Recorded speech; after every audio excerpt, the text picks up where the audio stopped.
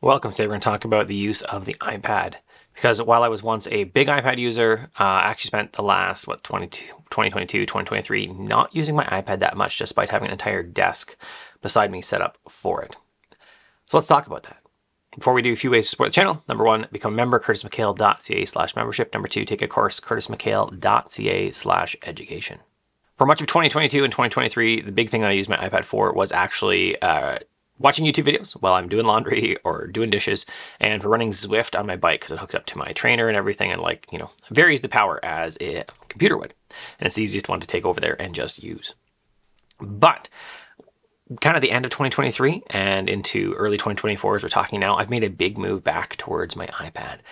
The biggest issues that I had previously where Stage Manager was only okay. Uh, I hated the audio setup where you had to send audio to your iPad only. It was really hard to send it off to something else. I had to use a special shortcut to make it work actually, but that now is fine. I can send audio to anything, to my iPad, to my Sonos speakers behind me, to anything really easily. And then the other thing was the lagginess of Obsidian on iPad. And I did a video about that a while ago and how I resolved it, and ultimately it came down to there's some plugins that are slow.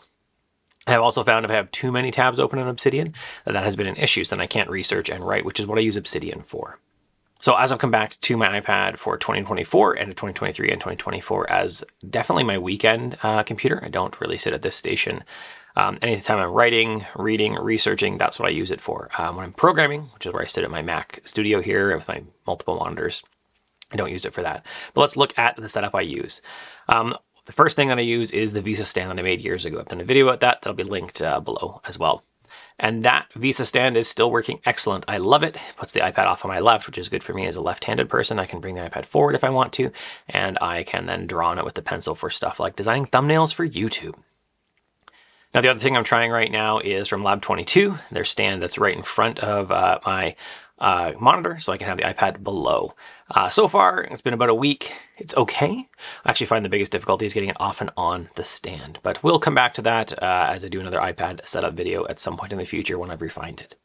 The monitor I use is the same one I've used for years. I have actually have two of them in front of me on the sides of my big monitor. Uh, it's an LG UL27500. I've viewed it in the past. It's great, and there's not much to say about it. They still work. They are 4K. Uh, they're not like the fanciest fancy monitors out there, but they work and they're inexpensive, so that's great. Uh, as I was writing this, I was working on the 8BitDo Retro keyboard review. Uh, while that keyboard was cool, it looks nice, uh, it's not the one for me, as I said in the review, so you can check that out. Uh, right now I have actually on there my um, Moonlander because right in front of me I have a uh, Glove 80 keyboard that I'm testing out as kind of a main uh, working keyboard here. So that's one of the problems that I've possibly solved already by putting a fully split ergonomic keyboard in front of my iPad. The trackpad, I still use the Apple Magic trackpad. There's just nothing else that beats it. It is the best pointing device for your iPad. So if you're trying something else, get a trackpad. It is the best by far to connect my device, my iPad to the monitor, to everything else. Uh, it's right to internet because it says wired internet. I use the CalDigit Element Hub and I use USB-C uh, adapter, USB-C to Ethernet adapter on that as well. It is still, like it has been for years, attached to the back of the VESA stand. Uh, I use you know some Velcro and some other stuff to keep it back there. Uh, and then I use some Velcro to keep all the cables managed as it goes down through the uh, arm that I have, which is a cheap Amazon arm that holds the iPad. Now things to improve. I already talked a little bit about this. The keyboard, I need an ergonomic keyboard. So I've got the Moonlander there right now as I work on the Glove80. Now the Glove80 is going to take some more programming though. So it does uh, home row mods where I can touch and have U, because I'm Dvorak, or hold and have command, but it actually prefers the hold option. And so that actually has made some mistypes for me. So I need to go into programming and do tap preferred, but we're not there yet. The other keyboard I'm interested in is the Voyager from ZSA. I've actually started, at least with the Glove80, to take keys off when I don't use them, uh, and I have a, quite a few keys missing from my keyboard. So I wonder if the Voyager from ZSA, uh, which is the, like the little little cousin of the Moonlander, will actually be a better keyboard for me because it has less less keys on it. it. Doesn't have the tenting options, but you can 3D print them, or you can make stuff with the rare earth magnets uh, to attach it to the keyboard. Outside of that, I really don't have a lot of complaints. Like I said, I'm trying the uh, Lab 22 stand. Uh, and the other thing I just bought actually recently was the Brydge Max Plus keyboard, which sounds kind of funny since the uh, iPad is coming out. Theoretically, new iPads are coming out fairly shortly. But I really wanted to see, as people are talking about um, a laptop style keyboard, as opposed to the floating standard keyboard that we have right now with the iPad. I want to see what a laptop style keyboard really did for me. Do I like that? Do I like how that works? Uh, and the Brydge Max Plus is the best one. So far, it's pretty okay. Um, I like it. I've had it on my lap, definitely better on the lap. Still, with the iPad being heavy, it does weight it backwards, but it sits much better on your lap than the standard Apple, mm, whatever, Magic, fancy, expensive keyboard. And the big problem with the fancy Magic keyboards from Apple is they're that rubbery texture, and both of mine are starting to get destroyed.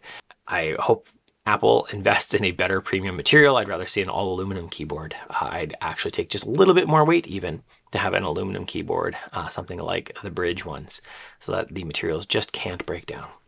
Now for 2024, I'll also likely replace my iPad. Um, I'll likely replace, because I have an M1 iPad Pro, one terabyte, I'll likely replace it with whatever comes out. 12.9 probably is again. I'll also likely buy an uh, 11 inch. So I'll buy both of them because number one, my wife uses a 12.9 inch for a lot of her stuff, and she finds it just a little big to carry with her when she travels. She goes away as a skating coach, so she'll be away for a weekend working with kids on the arena, on the ice, and she needs to have her iPad with her for work while she's there. So the 11 inch might be a better one; it'll fit in her bag better. So I'll buy both and I'll test them both out and see which one I like. I've wondered if the 11 inch is a better tablet than the uh, 12.9 inch. And at least as of now, the 11 inch has the exact same capabilities with Stage Manager as the 12.9 does. So that means that I could have a better tablet and still have a lot of the power when I'm sitting at my desk that I would have. It doesn't have the, you know, the nicest, nicest screen, but we'll see what they do with the newest version. And I've also picked up an iPad mini recently as a note tool. So we'll talk about that in the future. But I could definitely see at least two iPads coming into my future and graduating a lot of these down to our other children that we have. Finally, what do I do with this iPad Pro? I mainly write and research on it answer some emails. Uh, I do some of my accounting on there, right, with numbers up there, entering stuff into spreadsheets, um, and taking it, you know, converting from uh, US to Canadian with Soulver, uh, and running uh, with my email as well there. The other thing that I do is video editing sometimes. So I still dabble with LumaFusion. Um, I've done DaVinci Resolve a little bit on my iPad as well, and I think this video will probably do on Final Cut. I don't love that Final Cut has a subscription. I would rather pay for it once and then just not have to pay for it again. Uh, I know that that, I guess at least with Final Cut, since they haven't updated it in so long to like a new paid version, that I'm you know just making money because I'm not paying for it. And with this subscription, I will be. Now I don't have a lot of high video editing needs. Most of the time when I'm sitting in front of here, I'm actually using Ecamm Live or, or OBS Studio if I'm recording on my Linux machine, and I'm doing a lot of my editing right in um, the recording process, right? I'm switching over to the screen. I am having all the transitions done for me. So I'm just cutting out mistakes. So my editing is quite light, which means I've even used Kdenlive on Linux and that's been entirely fine. After a few years, number of years really, of the iPad feeling like it was really languishing. It really, it, it had potential, but it wasn't anywhere living up to it. I'm really excited about where the iPad's going this year. I'm really excited uh, about using it. I'm really enjoying using it again. Um, it has turned into a solid tool for me again. So it's worth investing in. So I usually view these things in terms of will I make a monetary return? Right, when I bought my framework uh, 13 inch laptop, I looked at buying that, uh, you know, two grand laptop as will I make return on it? And the fact is I had four weeks where I had to not work in my office most of the time because I had a new puppy. I just needed to help take care of it. There's a bunch of other stuff. And I could earn out more than double the cost of that machine before I left with programming. Um, so that was great. I don't use it as much now, but I still do use it, you know, probably once a week it comes out and I do stuff with it. But that initial four weeks easily paid out the cost uh, in lost productivity. That's why I even look at the iPad. Um, as I look at the new ones as they come out, hopefully in March, I'll look at it and say, hey, will I make enough money on this? How much will I make? How much can I actually earn from this in improved productivity? Well, that's it. I'd love to know about your iPad setup. What do you like? What do you dislike about mine? Uh, you have any suggestions for things that I should look at in to improve my productivity on the iPad, to improve the setup, to make it more ergonomic? If you want to support the channel, uh, become a member, curtismchale.ca slash membership. Like, subscribe, all that other junk. Take a course, curtismchale.ca slash education. Have an awesome day.